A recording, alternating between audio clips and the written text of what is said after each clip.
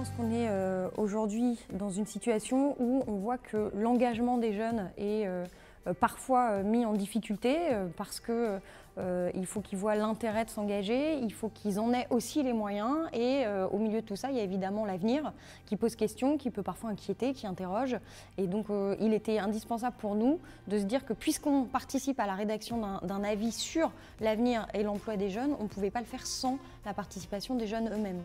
On a organisé une consultation citoyenne euh, qui euh, a été ouverte via une plateforme en ligne du 7 au 25 janvier. Et dans le cadre de cette consultation citoyenne, il y a plusieurs ateliers relais qui sont venus ponctuer euh, nos travaux. Et donc le but et de cette consultation citoyenne et de ces ateliers relais, c'est d'alimenter en contenu, en propositions, en préconisations et construire l'avis qui sera remis au gouvernement fin mars. Pour l'UNSA, on pense qu'il fallait avoir l'avis de jeunes impliqués dans la vie active pour euh, savoir ce qu'on pouvait avoir comme préconisation pour leur avenir. Et il nous fallait l'avis de jeunes militants, de jeunes engagés, pour voir comment est-ce qu'en tant qu'organisation syndicale, on pouvait accompagner les jeunes dans leur avenir professionnel. Ce qui est ressorti de manière primordiale sur la qualité de vie au travail, c'est qu'il y avait deux axes à étudier. L'axe du travailleur comme travailleur au sein de son entreprise et l'axe du travailleur comme parent dans sa vie privée et ce qui nous permettait vraiment de faire le lien entre euh, l'adéquation qui doit être celle entre la vie professionnelle et la vie privée.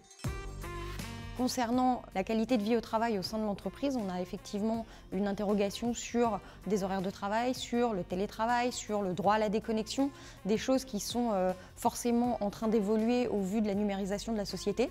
Et puis concernant euh, la qualité de vie au travail en tant que parent, euh, on, s'est dit qu'il y avait une obligation de mettre en place un service public national de la petite enfance avec éventuellement un droit opposable à la garde d'enfants qui fasse que la question de fonder ou non une famille ne soit pas un obstacle à une évolution professionnelle. La mise en place de ces systèmes serait surtout euh, dans l'intérêt des entreprises, c'est-à-dire d'avoir euh, des euh, salariés qui viennent travailler la tête reposée en leur proposant des places en crèche d'entreprise ou une aide pour avoir recours à une assistante maternelle. Aujourd'hui, on est encore dans une situation où, quand dans un couple se pose la question de celui qui va prendre un congé parental ou un temps partiel pour s'occuper des enfants, il est logique que ce soit celui qui gagne le moins, et celui qui gagne le moins, aujourd'hui, à 80% des cas, c'est la femme. Il faut qu'on puisse donner les moyens aux femmes de pouvoir continuer à avoir l'évolution de carrière telle qu'elles l'auraient souhaité, avec ou sans enfants. On a aussi fait le constat que euh, si le taux de natalité en France baissait et que les enfants naissaient de plus en plus tard, peut-être était-ce parce que les femmes faisaient un choix de s'engager premièrement dans leur vie professionnelle avant de fonder une famille. Et euh, il y a un élément qu'on met assez souvent de côté, c'est qu'on ne se rend pas compte que finalement, euh, plus les couples attendent pour avoir des enfants et plus ça peut être difficile et plus cela peut entraîner des coûts en termes de santé publique.